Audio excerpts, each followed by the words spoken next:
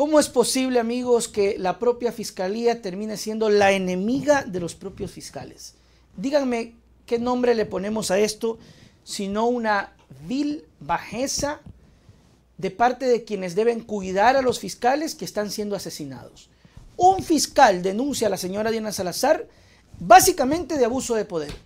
Porque cuando matan al señor fiscal hace pocos días, envía un comunicado a la señora Salazar, ¿ok? Eh, dando las condolencias y sintiéndose mal por el asesinato. Y esto parece que lo manda a través del Kipus, yo no sé cómo sea el tema de los correos.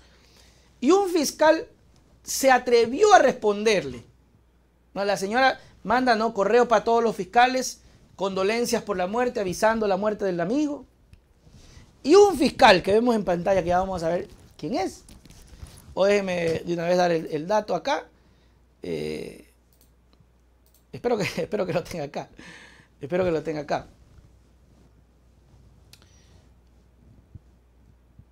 No, no tengo el nombre. No, este, sí hay un, hay un, vaya pues, se me fue hasta la idea. Una imagen, mi querida producción, en donde precisamente me parece que aparece eh, el nombre, déjenme ver.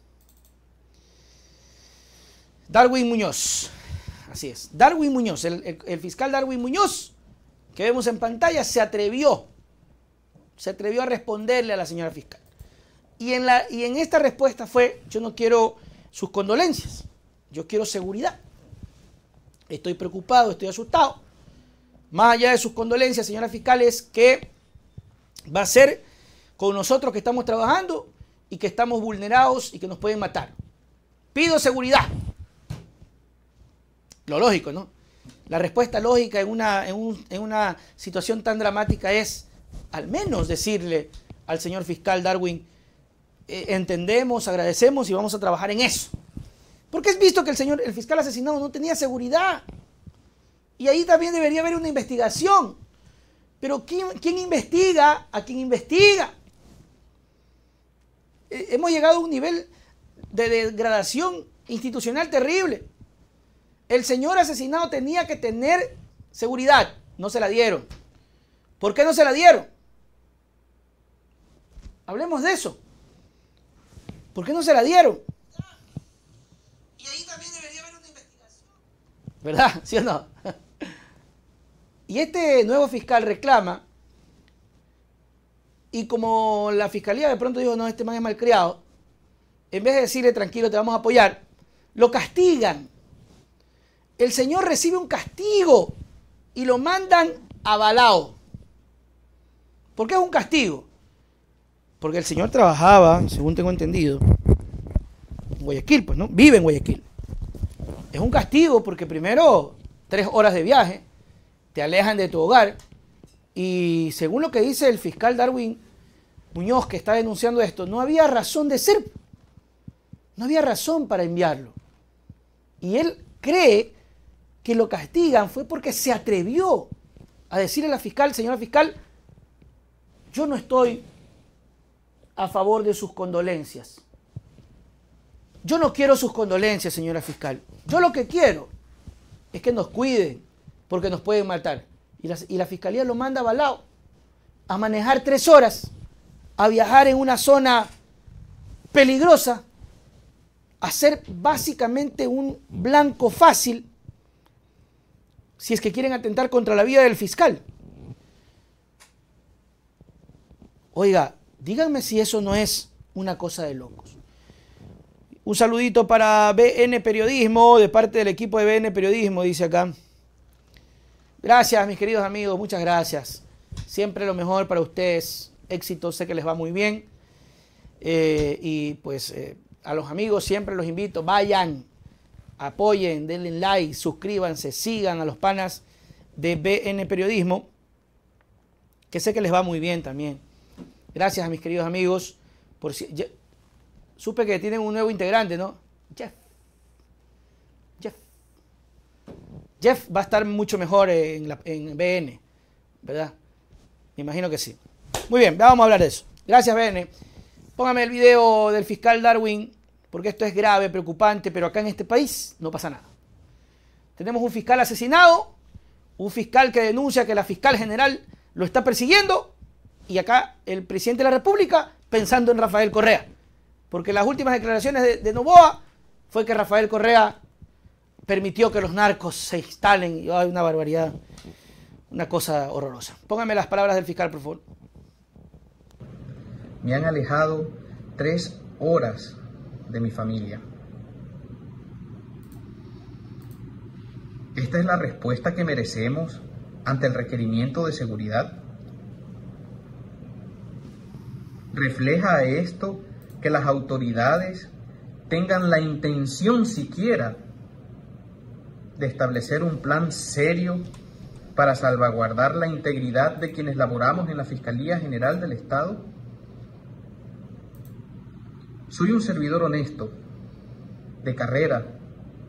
Llevo laborando en la Fiscalía desde el año 2007 y nunca, nunca hemos vivido la indiferencia administrativa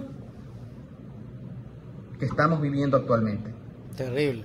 Y más aún, cuando hemos hecho requerimientos justos, nunca se nos ha intentado silenciar con un traslado administrativo, como lo están haciendo ahora.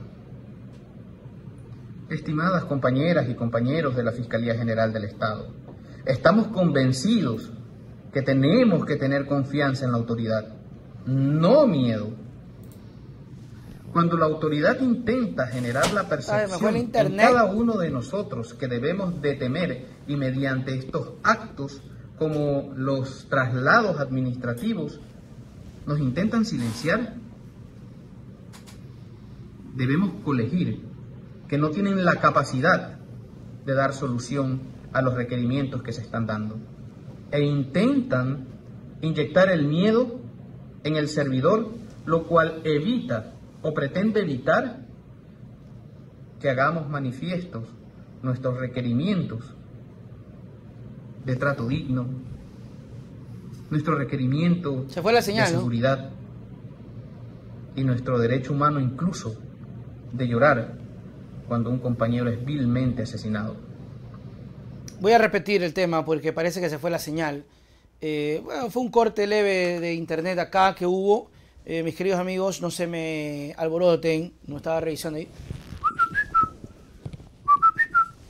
Entonces, vamos a, poner nuevamente, porque incluso la primera parte me falta, ahí donde el fiscal dice que eh, no le acepta, ¿verdad? Y ahí el, cambio que le, que, le, que le, daban. Póngame, por favor, mi querida producción, para escuchar desde la primera parte eh, eso me faltó incluso. Adelante.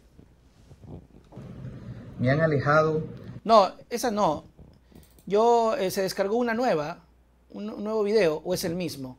Ah, no se pudo, no, es que justamente en ese momento se fue el internet. Claro. Claro, claro, claro. A ver. Ahí debe ser. Ya vamos a arreglar, ya vamos a arreglar. Estamos en vivo. Todo esto en, en vivo no hay nada igual. En en vivo no hay nada igual, ya está. Y BN lo sabe, porque ahora es, ahora es BN con Jeff. BN con Jeff. No es solamente BN, ahora es BN con Jeff. Ahora sí, a ver. Estimadas compañeras y compañeros, el día de ayer hice manifiesta mi voluntad de no aceptar las condolencias dadas por la fiscal general del Estado ante el asesinato del doctor César Suárez Pilay concluyendo mi intervención requiriendo seguridad para los servidores de la Fiscalía General del Estado. ¿Saben cuál fue la respuesta que recibí? El día de hoy, con el afán de silenciarme y castigar el hecho de haberme atrevido simplemente a requerir seguridad, se me notificó con una acción de personal que contiene el acto administrativo de mi traslado del cantón Guayaquil al cantón Balao. Me han alejado tres horas de mi familia. Turro, ¿no? ¿Esta es la respuesta que merecemos ante el requerimiento de seguridad? Por supuesto que no. Por supuesto que no. Estamos repitiendo. ¿Refleja esto que las autoridades tengan la intención siquiera de establecer un plan serio para salvaguardar la integridad de quienes laboramos en la Fiscalía General del Estado? ¿Y quién hace, quién investiga esto? Soy un servidor honesto, de carrera. Llevo laborando en la Fiscalía desde el año 2007 y nunca, 2007. nunca hemos vivido la indiferencia administrativa que estamos viviendo actualmente. Y más aún, cuando hemos hecho requerimientos justos. Totalmente, mi querido amigo, y de verdad que entendemos el malestar y entendemos esa situación, aunque lamentablemente, de verdad, esto no se logre entender de parte de quienes deberían entenderlo. La pregunta aquí es, ¿quién investiga a quién investiga? ¿Quién hace el seguimiento a quien hace los seguimientos? ¿No? Eso es lo grave. María Augusta, Nelson, ¿qué pasó? Estamos en rojo. Ya estamos bien. Se fue antes el internet. Usted sabe que son cositas que pueden ocurrir. Lamentamos lo que pasa. No hay ningún pronunciamiento hasta la fecha sobre esto, pero es gravísimo. Nadie puede quejarse, nadie puede denunciar, porque si tú denuncias un hecho, lo primero que hacen es castigarte. Díganme, ustedes, díganme ustedes, ¿cómo se puede luchar? ¿Cómo se puede luchar si desde la autoridad no hay principios? Se acabó.